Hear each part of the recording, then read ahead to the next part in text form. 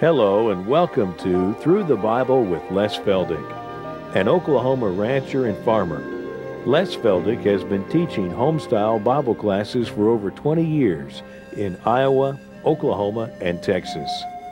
Les Feldick's unique style of Bible teaching has made the books of the Bible come to life.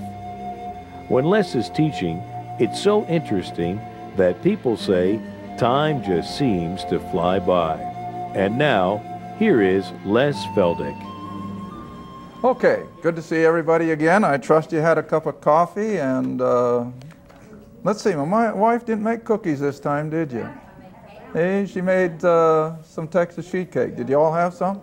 Yeah, yeah. It's kind of hard on you calorie counters, but anyway, uh, again, we'd like to uh, welcome all our television folks wherever you are. And uh, we always like to let it be known that we're just an informal Bible study. We, we don't intend to preach at anybody.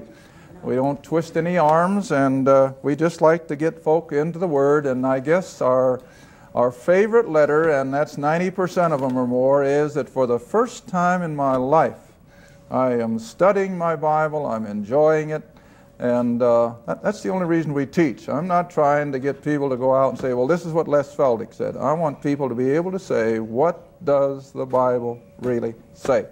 And uh, consequently, we uh, do not uh, adhere to any one particular denominational line. And uh, we realize there are a lot of differences out there, and I always maintain you don't have to agree with me on everything.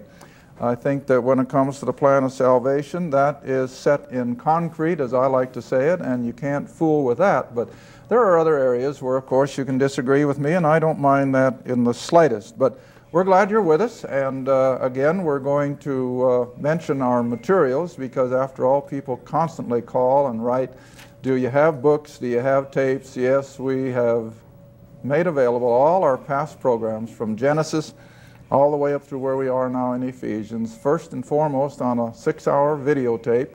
That's been dubbed over on the same six hour in an audio cassette package, and then uh, Jerry Poole here and his wife have transcribed everything into the print, and uh, so they're also available in the little booklets. And uh, it's to each his own. Some people like the videos, some people love the books, and some people like the audio so they can listen to them in their car. But uh, whatever. If you're interested in any of those things, you uh, call us or write to us and we'll get the information to you. Okay, we're here to study the Bible. Let's go back to Ephesians chapter 2.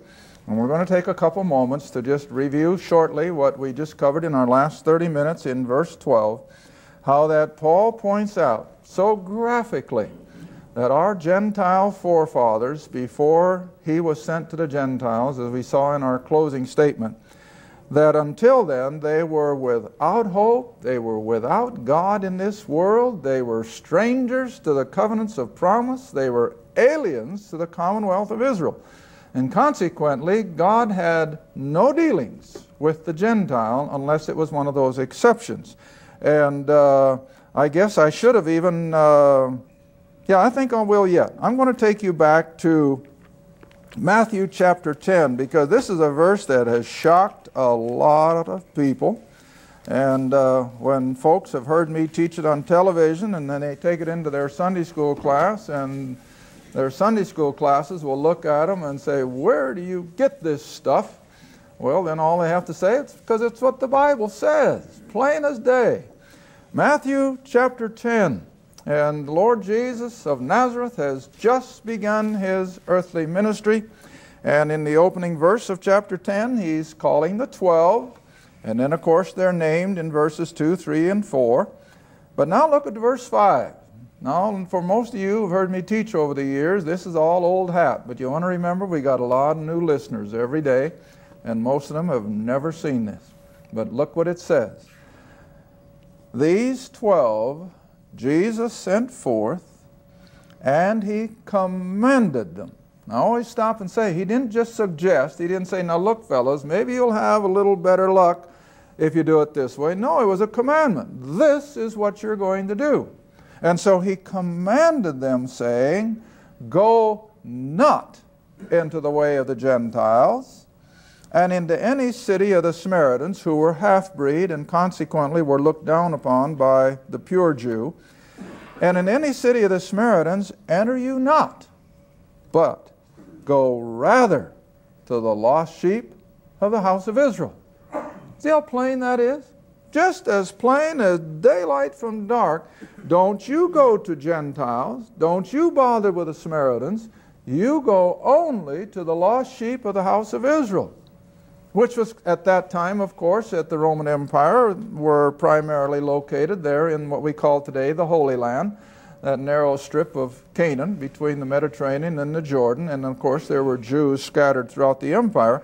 But see, Christ's earthly ministry was confined to the nation of Israel. You know, I always have to remind people can you find one instance in Scripture where he took his ministry down into Egypt? No. Did he ever go up into Syria? Of course not. Did he go across the desert to Babylon? Of course not. And so, where did he spend all his three years? Right in that narrow neck of geography between the Mediterranean and the Jordan, and no further. Neither did the twelve. They knew they couldn't because the commandment was go only to the lost sheep of Israel. Why? Because of that covenant promise that we read in our last program in Genesis 12, where God says, I will make of you a great nation, I will bless you, and I will this, and then I will, through you, bless all the nations of the world. Well, only the nation of Israel was under that covenant promise. And he couldn't abrogate that. He couldn't break that covenant that he had made with the nation of Israel. And so this is why he makes this statement. Then, of course, the next one I would like so well in the same regard is Matthew 15. Matthew 15, where he's confronted by a Gentile lady out of uh, the coast of Tyre and Sidon, which was a Gentile enclave. Matthew 15, and dropping down to verse 21. Matthew 15, dropping into verse 21. And then Jesus went thence and departed into the borders of Tyre and Sidon. And behold, a woman of Canaan, see, a Gentile, a non Jew, came out of the same coasts or borders, and cried unto him, saying, Have mercy me on me, O Lord, thou son of David. My daughter is grievously vexed with a demon. Oh, what a perfect opportunity for Jesus to show his power, wasn't it? Yeah, it was. But did he? No, not at first. And so what's the answer? Not a word. Ignores her. Now we find that hard to believe, but you better believe the word. And the reason is again, he was only sent to the lost sheep of Israel. You all know the verse in John's Gospel. We don't even have to look at it. He came unto his own, which was Israel but his own received him not. And then, of course, that opened the door for the Gentile, but in his earthly ministry, only his covenant people, only those who were citizens of the commonwealth of Israel, only those who knew what it was to have a Messiah, as we saw in uh, Ephesians chapter 2. All right, now then, you read on. He answered her not a word, verse 23 and his disciples, the same twelve that he commanded to go not into the way of a Gentile, to the same twelve, they came and they begged him, saying, Send her away. We can't have anything to do with her because you've commanded us not to. That's what it boils down to. Send her away. She's a nuisance. She's a pest. Every place we go, here she is, crying after us. And he answered and said, in response to that kind of an attitude. Perfect agreement. And he says, I am not sent but to the lost sheep of the house of Israel. Now, isn't that plain? Now, most people don't know why he said that. He said that because he came to fulfill those Old Testament covenants. And he couldn't break that. And so being the God of creation, the one who wouldn't bend to pressure like most people would, he could tell it like it was. I am not sent except to my covenant people, to the lost sheep of the house of Israel. Of course, this lady kept on, you know. I guess we can take a lesson from this. But she just kept on and she said, Lord, help me. And he answered again in so many words as to say, I can't do anything for you. And what does he say in, in, in the scripture? It is not meet, it is not proper to take the children's bread and cast it to the dogs. Now, in Jewish parlance, who were the dogs? Well, the uncircumcised Gentiles, see? And so he said, I can't take that which belongs to my covenant people, the children of Israel, and give it to you Gentiles. Can't do it. Because it was running contrary to the very mind of God when he made the covenant with Abraham. And so he couldn't. His hands were tied. But, like he did back here when he sent Jonah to Nineveh and he brought Rahab off the wall of Jericho, he could, being sovereign, make a what? An exception. But he couldn't make it a blanket act. It would have just simply destroyed the scriptures. But he could make an exception. And so he finally gives in. See, when she comes back and says in verse 27, Truth, Lord, she agrees with him. She said, I know I'm not in a position to sit at the table of the Gentiles, but yet the dogs eat the crumbs that fall from their master's table. Now, we commented on this verse, I think, several programs back, and I, I made the allusion to Psalms 23. And what is in Psalms 23 with regard to a table? Thou hast set a table before me. Well, what was the table? Well, it was God's table from which Israel feasted. See? It was a spiritual allegory. But nevertheless, only Israel could feast at God's table. And the same analogy here. She says, I know I can't eat from Israel's table, but can't I have some of the crumbs that fall off the edge? And that, of course, got to the Lord, and he then says, Great, verse 28, O woman, great is thy faith, be it unto thee even as thou wilt. And her daughter was made whole. The demon evidently was cast out at that very time. But that was one of the exceptions. There's only one other throughout his whole three years of ministry, and that was the Roman centurion. And he gave in to that one. Other than that, you cannot find one instance in this book that Jesus ministered to Gentiles. In fact, while we're on that subject, I, I, know I repeat and repeat and repeat, but I guess that's what most people enjoy and they're learning. Now you come on over to John's Gospel, chapter 12. And we have much the same kind of a situation. Here it is the crowds of Jews are gathering from all over the then known world, the Roman Empire, for the feast of Passover the very same Passover at which he's going to be crucified. And these are the days leading up to it. All right, verse 20 of John's Gospel, chapter 12. John's Gospel, chapter 12. And there were certain Greeks. Now, that's still another word for what? Gentile. See? And so there were certain Gentiles among them that came up to worship at the feast, the feast of Passover. Verse 21 the same, these Greeks, came therefore to Philip, who was of Bethsaida of Galilee, in other words, one of the twelve, and they desired him, or they asked him, saying, Sir, we would see Jesus. Now, I always like to get people to kind of just stop and, and mull these things over. People are no different today than they were then, or put it the other way around, people were no different then than they are today. Now, it was common knowledge, all the miracles that this Jesus of Nazareth was performing. And you know, I always remind my class here in Oklahoma, I just did the other night. You know, the ones that are recorded in Scripture are just a sampling. That's just a sampling. Goodness sakes, don't think for a minute that that's all of his miracles. Because John ends his gospel, the last verse, and what does he say? And many more. If they'd all been recorded, the world couldn't even hold it. But here these Gentiles had no doubt been hearing about this man Jesus and all of his miracles. And so they were curious and they said, hey, We'd like to see this guy. We'd like to talk to him. And Andrew, of course, remembering what the commandment has been, had second thoughts. Well, I can't take them in to see Jesus. These are Gentiles.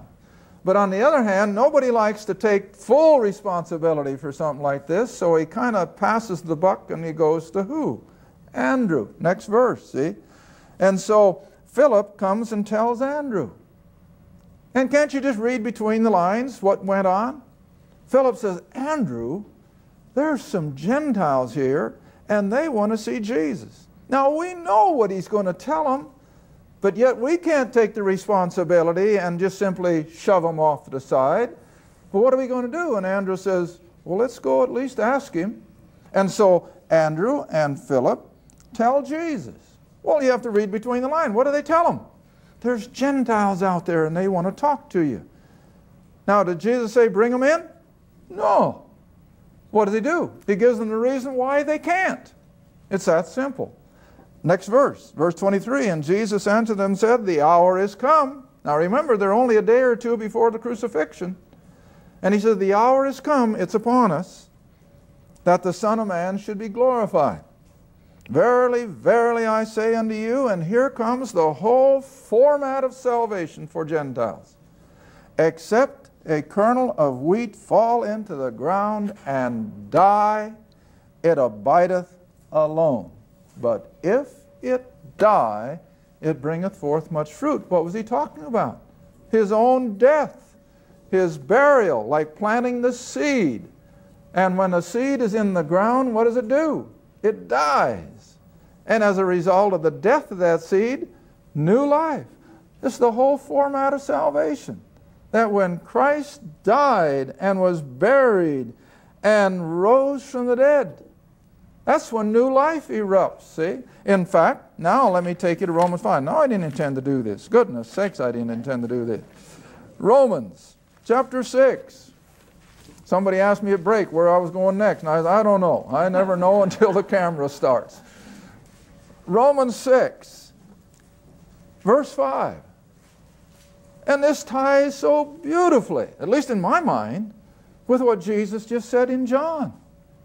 For unless a kernel of wheat falls into the ground and dies, it abideth alone. But if it die, it springs up and brings forth much fruit. Now look at the language Paul uses concerning our salvation. For if we have been, what's the next word? Planted. And what's that planting a reference to? Burial. See, when we plant seed, what do we do with it? We bury it. Oh, not six feet. But nevertheless, we bury it. And as a result of that seed being buried and the moisture and the warmth of the sun, what happens? New life. But if you've got a seed that can't die by germination, it's not going to reproduce. All right, so Paul is using the same analogy that Jesus used in John chapter 12. And he says, For if we have been planted together in the likeness of his death, in other words, if we've identified with his death and with his burial, then it's an assured fact that we can identify with his resurrection. See how beautiful it is? So if we've been planted together in the likeness of his death, we shall be also in the likeness of his resurrection. And of course, that's when he experienced the glorification. There wasn't anything glorious in that cross, anything but. It was awful. But when he rose from the dead in power and glory, and that's where we are, see? Oh, to die to self, there's nothing glorious about that. But to rise in newness of life and a whole. Oh, listen, the last few weeks we've had more phone calls. I just can't believe it. Where they'll say, Our whole life is changed. Everything is different. Had one old boy, and he'll probably be listening to the program. He called and he said, Les, I'm 72 years old. I haven't darkened a church door since I was nine. Now, subtract. How many years is that? In my way of figuring, that's about uh, 62, 63 years. Hadn't darkened a church door. He said, I've never listened to anything on television. I have never opened my Bible. But he said, I caught your program about three weeks ago, and he says, God has literally changed my life.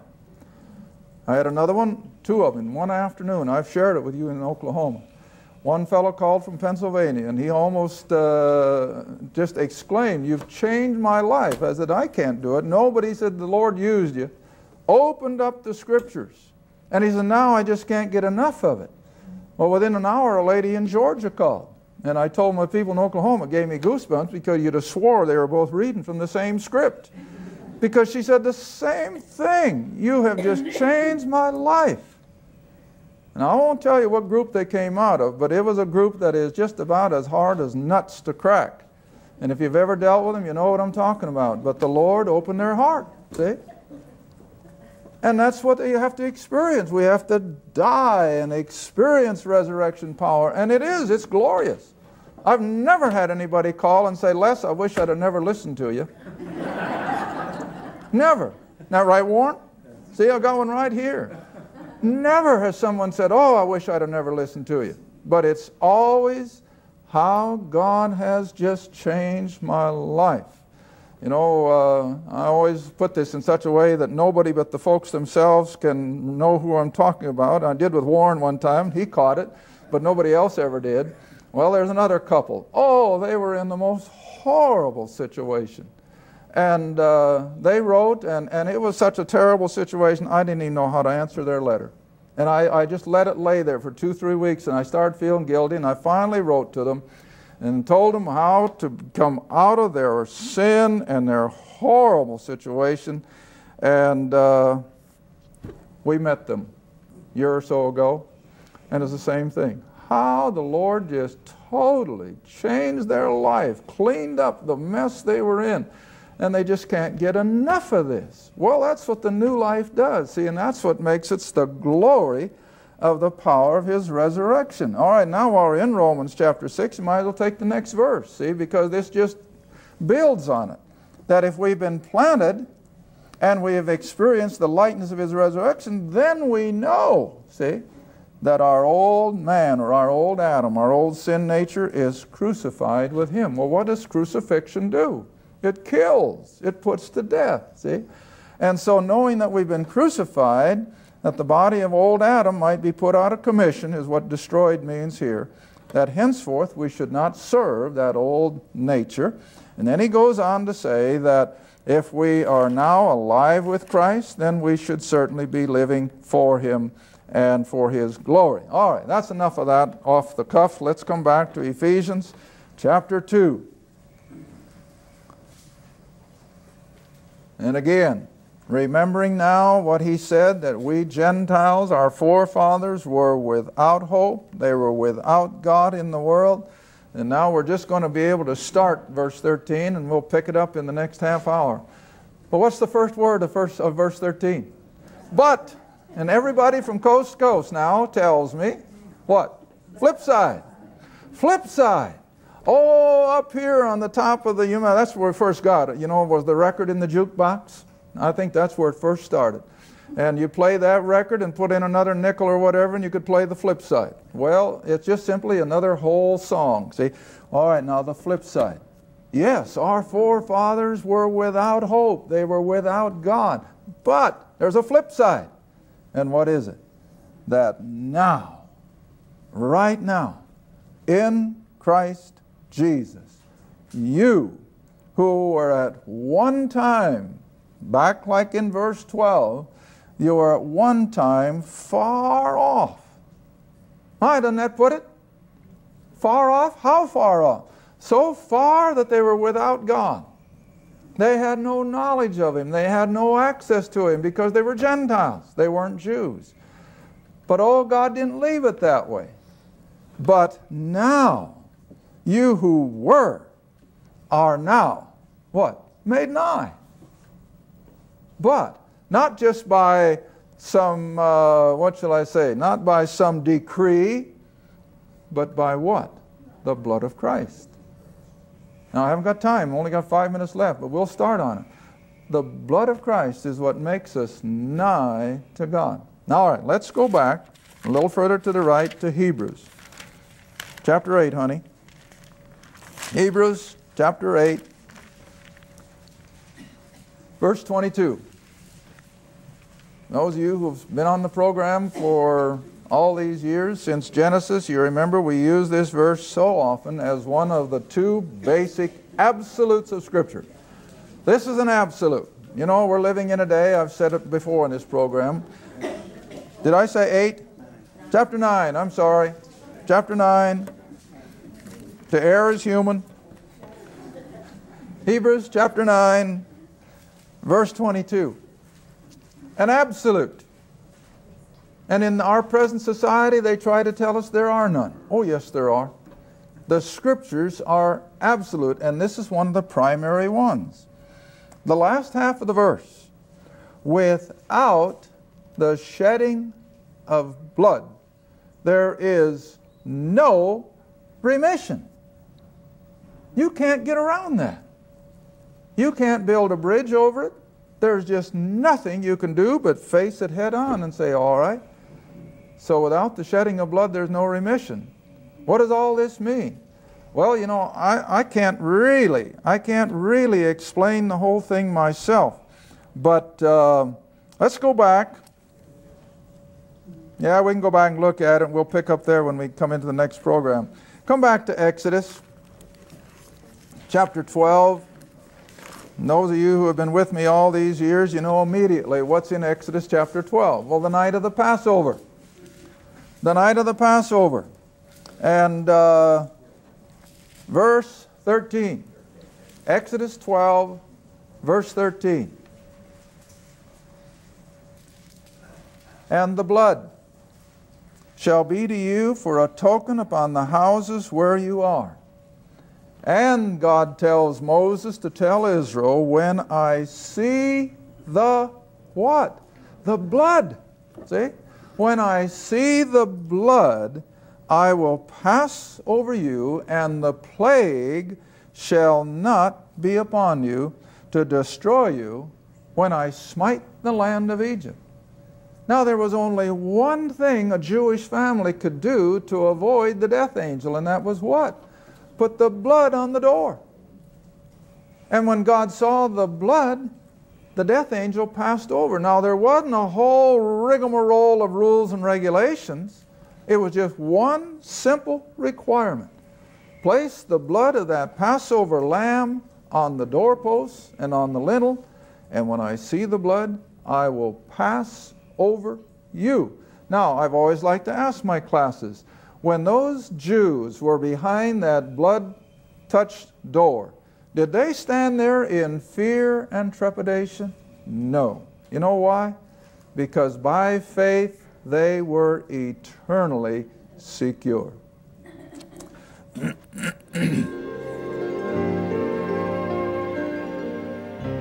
Thank you for watching Through the Bible with Les Feldick, a weekly Bible study. If you would like more information about the Les Feldick Ministries, a Bible study in your area, or about this program, write to Les Feldick Ministries, Route 1, Box 760, Kinta, Oklahoma 74552. That's Route 1, Box 760, Kinta, Oklahoma 74552. Through the Bible with Les Feldick is viewer supported, and your gift is appreciated. Thank you, and be sure to tune in next time for Through the Bible with Les Feldick.